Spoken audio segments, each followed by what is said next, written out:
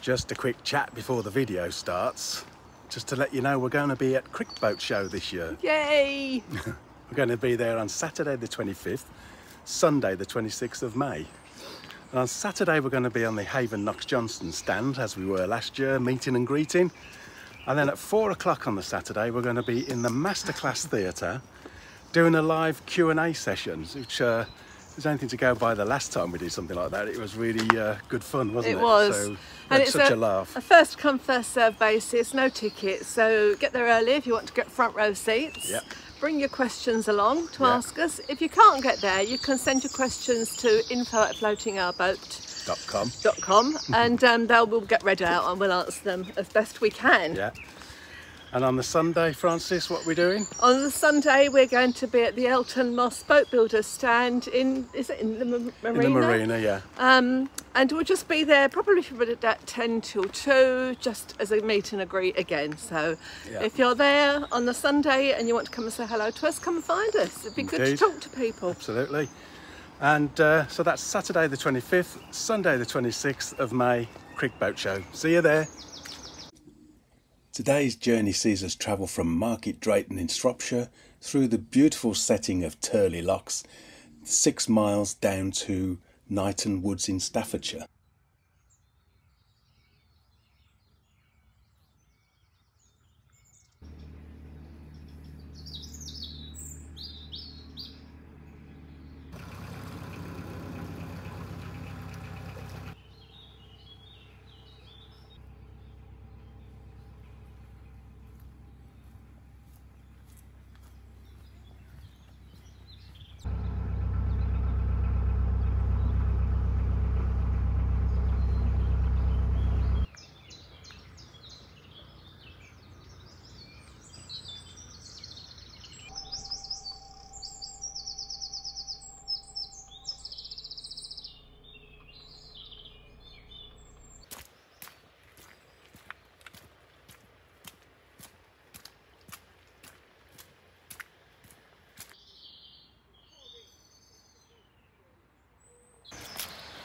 Now you know why I'm wearing the oldest pair of trousers I've got.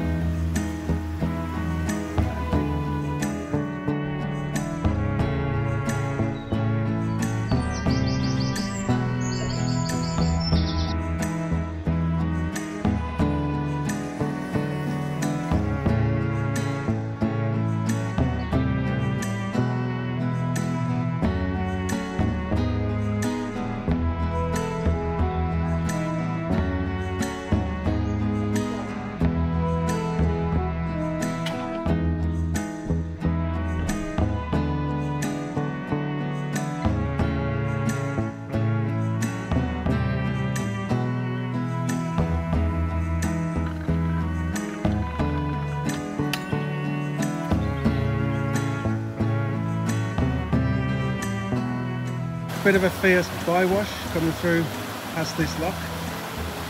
It's renowned for being a nasty one this, but uh, doesn't look as bad as it has done in the past, I have to say.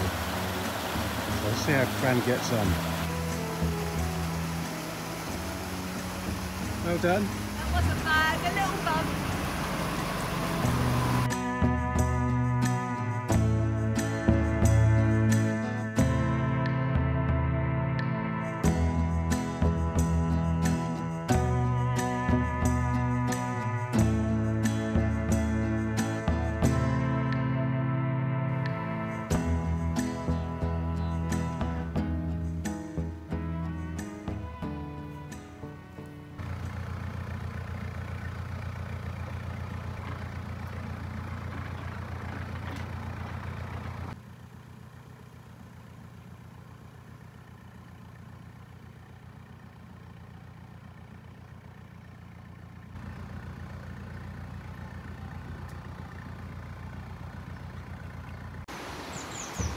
What a fabulous place to have a house.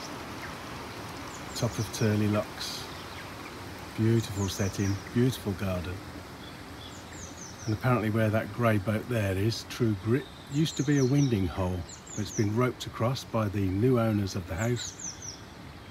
Because I guess they wanted to put their boat there, so you can't turn there anymore. You'll have to go, I think it's about another mile up ahead where you can turn. But it's been a fabulous day. We're now filling up with water and uh, just another few miles cruise to get to where we want to be.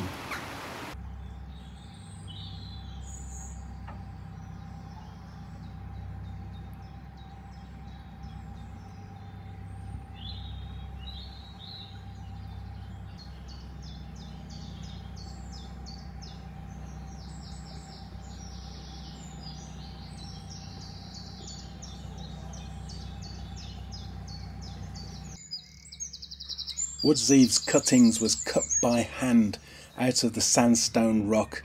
It's almost a mile long and in places a hundred feet deep. As you can see, landslides regularly occur, often causing the canal to be closed. And in this case, today as we're going through, the towpath has been closed for a considerable time.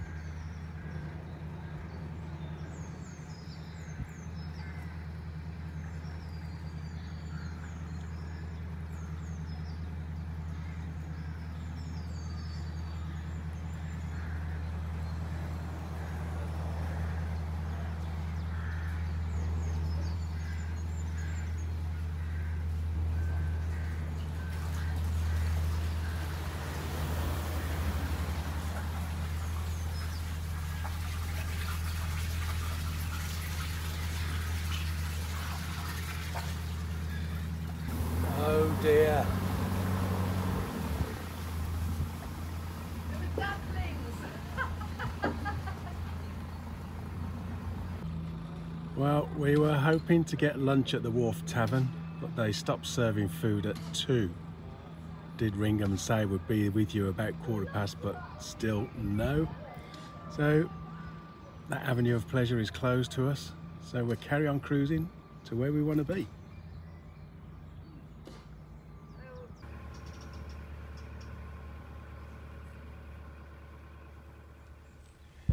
Well, that's the cruising done for the day. Found a fabulous spot. It is so peaceful. Really quiet. And the engine's been going for about three, four oh, hours oh, on least. and off, so yeah. it's so peaceful when it stops. Just one boat behind, a few hundred yards back, and it's so quiet. We had a bit of trouble mooring up because we'd forgotten about, well, didn't forget, but the, the Shroppie Shelf, which is a concrete plinth runs all along the edge of here, and you can't always get the boat in. The canal really needs dredging, it's quite shallow, isn't it? Yeah. So I think you had about seven attempts. I've been walking along with the stick to test the depth of the water.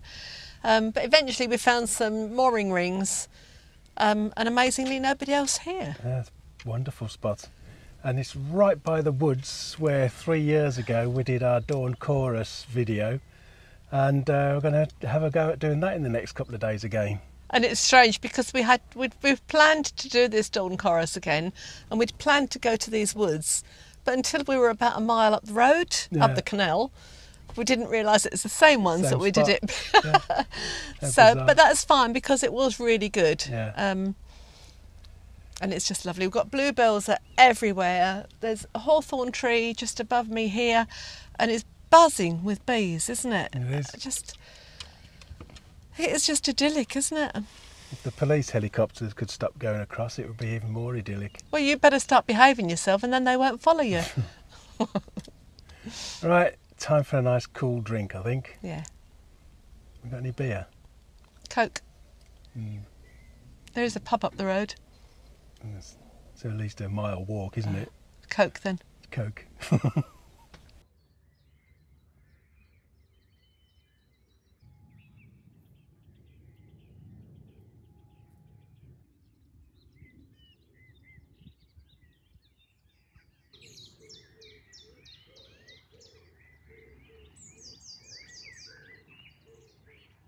I've just come out for a little bit of a walk to get my bearings.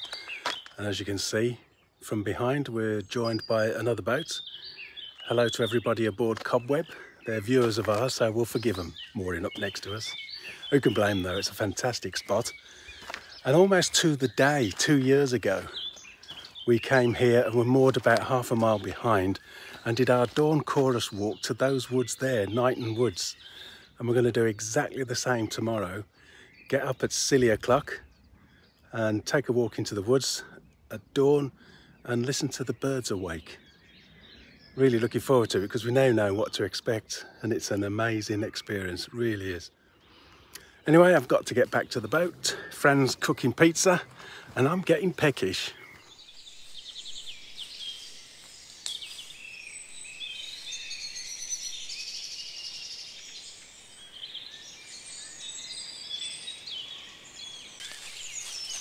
Well, it's just gone five o'clock in the morning. I've had a brisk short walk and the bird song has been going for about 15 minutes now. Wonderful, isn't it? It is. It actually started just before we left the boat. And I think last time we did this, the first bird was a blackbird. I think it was a thrush this time. Yeah. But it's the, the dominating sound is blackbird and thrush, isn't it? And then there's lots of little twitters, and I don't know what they all are. Wrens and robins. So we're just going to be quiet now and just soak it in.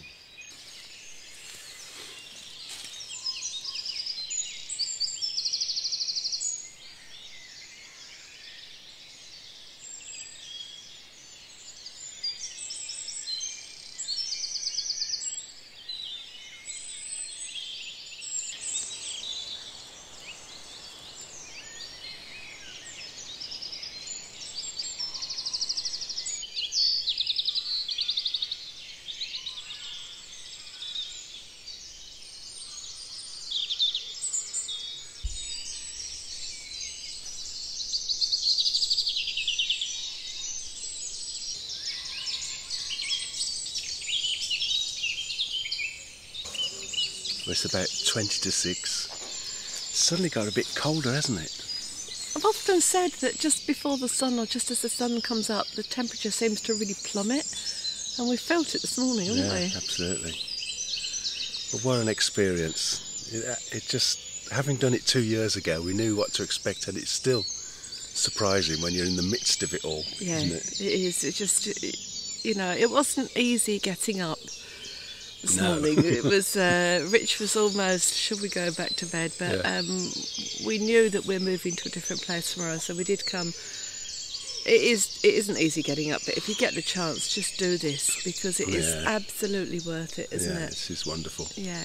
And they've quietened down now. They've been at it for over half an hour and it's gone a lot quieter than it was. Well, I think the, bird, the first bird sang as we left the boat, which was probably about quarter to five, wasn't it? Yeah. So I think it's gone for about an hour. And uh, we did take a walk further into the woods just to see if we can get a different sound. But there's full of bluebells down there, but it's a bit dark at the moment to film. So I'm waiting for the sun to pop up and we'll go down there and show the forest floor. As, as fantastic as the bird song has been, it's also been really, really good just to experience dawn, isn't it? In, uh, Yeah, in- it is amazing. just to be here, and especially in a bit of woodland, as the sun has come up or as the light has come up, and you see the colours begin to pop. The bluebells suddenly appeared. We couldn't even see them. Um, we could do that any time of year. We haven't got to get up at stupid o'clock to do that. We should experience dawn in the middle of winter when we can lay in bed till seven o'clock and do it. Gotta get your joke out of the way. Well, it's a, an observation really because um, people pay quite a lot of money to go and do forest bathing, so I figure that's having a forest bath. So maybe we've just had a bird bath. Boom, boom. Tweet, tweet. Well, we thoroughly enjoyed this. We're going to go and find a tree for Fran to hug. Two years ago, there was a picture of me hugging a tree at the end of the video, so it's your turn now. Well, you think you found the same tree Yeah. um, just around the corner, so I've just worked out it'll be um, two centimetres bigger this year than it was last time. so um, yeah, I'm going to go and hug it. And interestingly enough, was I said that we're now hearing the grandchildren of the birds we heard two years ago. Yeah, probably. Some of them are still alive, I guess, you know. But uh, And as we came into the woods, and it was really almost completely dark, then an owl flew overhead, didn't it? Mm, Really close big overhead. owl, yeah. Anyway, that's us. We'll see you next time. Thanks for watching. Give us a thumbs up, subscribe, and all that malarkey. And go and listen to the birds. see you next time. Bye.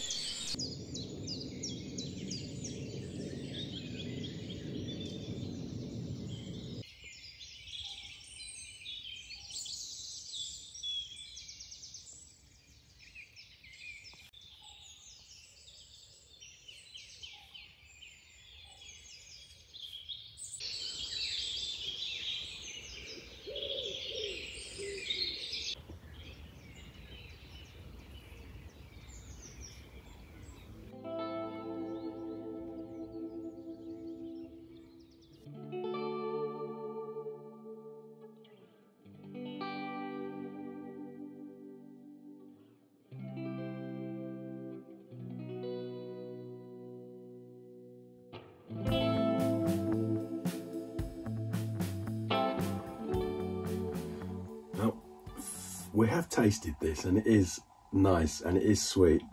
This first time on porridge. So, uh, see how that goes. I've got a right old dollop of porridge here. but I deserve it seeing as we've been up since quarter past four this morning. Bird watching, listening. We've had a lot of comments about how much sugar is in that recipe, haven't we? But it's you've had about two teaspoons on there, so that's only about one teaspoon of sugar. That is good.